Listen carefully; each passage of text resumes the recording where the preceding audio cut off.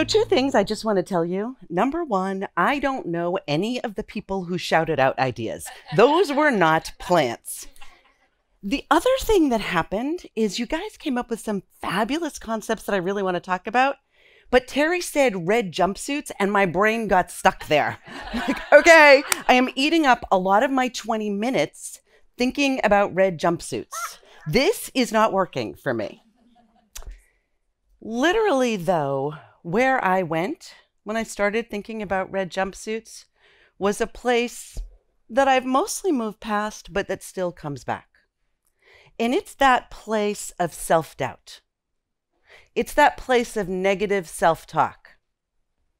It's that place where I think, oh, could I wear a red jumpsuit? Would I look foolish? Everybody else can wear a red jumpsuit. Maybe I missed the memo. And how did I stop that? I stopped that with self compassion. See, that's our secret weapon in the world. And I want you to understand the difference between compassion and empathy. Empathy is about feeling the feelings of another person, and that's an important skill. But compassion, that is about feeling for someone and without judgment. Now that's vital. It's pulling the judgment out that really makes a difference. And compassion, we can't get there without self compassion. So, putting aside the red jumpsuits, what is self compassion? There's three elements in self compassion kindness, treating yourself the way that you would somebody that you love, common humanity, understanding that each one of you and I, we're all the same. We have the same nervous system and the same range of emotions and the same feelings. And our struggles, while the circumstances might be different, internally, we feel the same.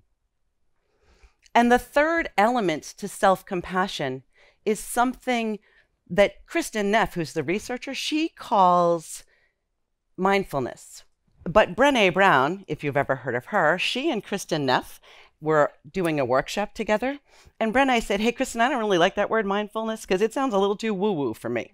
So instead, in true Brene Brown fashion, what she came up with was this idea courageous presence. Courageous presence. And I share that with you because that's exactly the way that I think we can think about mindfulness in a self compassionate way. So when I have the courage to be present with myself and to pull judgment out and to say, I'm a human, just like everybody else in here. Then I can stop thinking about whether or not I should have worn something different or why I'm not four inches taller or some other thing about me. And instead, come back to what is it that I want you to know? I want you to know about self compassion and how it literally can change your world. Now, someone else mentioned divisiveness, and someone else wanted to know, and normally I don't pull all these together, but someone else wanted to know why might we love our pets more than our spouses? and I want to tell you, my spouse is here, and I do not love my pets more than my spouse. I love my spouse the most. But there is research about this. I didn't know. That's what I did in my 20 minutes. After I stopped thinking about red jumpsuits, I'm like, I need to look this up because you're going to want to know. So, in about 2003, there was a study that said about 15% of pet owners prefer their pets to their spouses. So, there's some truth to that. And a 2019 study showed that 65% of dog owners actually take more pictures of their dog than they do their spouse, which sort of cracked me up. I thought that was pretty funny. Okay, but why are pets important? And how am I connecting this to self compassion and divisiveness? One of the things that we get from pets is that sense of connection and unconditional love. Now, in truth, if you're petting a pet, your brain and the pet's brain both release oxytocin. And oxytocin is something that helps us feel good. It's a hormone in our body, and that's how we connect with other people. So, in fact, a strategy for reducing divisiveness might be to have a lot more pets in the world. I don't know about that. I can't tell you that there's research yet. But what we do know is that when we can focus on connecting with other people, when we can focus on seeing each other in a manner of compassion and using self compassion, then suddenly things begin to change. And literally, that's the moment when we go from conversing to communicating.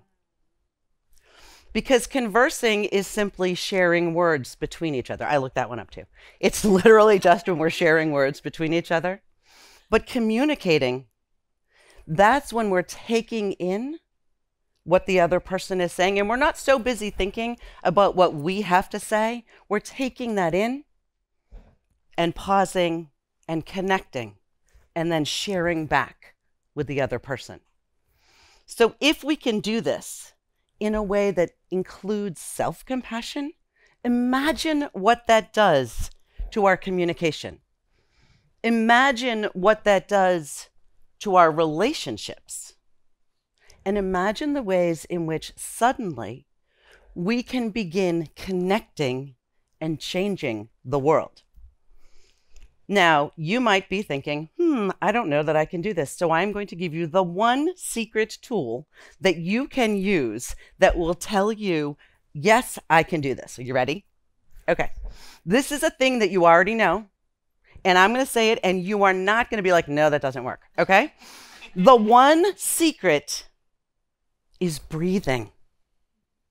Now, you all would be like, yeah, yeah, whatever. No, it does. this works for your nervous system. So, one time with me, this is a way to access your self compassion. Big, deep breath in from the belly and let it out. I promise all the science will let you know. That makes a difference. That gives you courageous presence. And from there, you can practice self compassion and make the world better.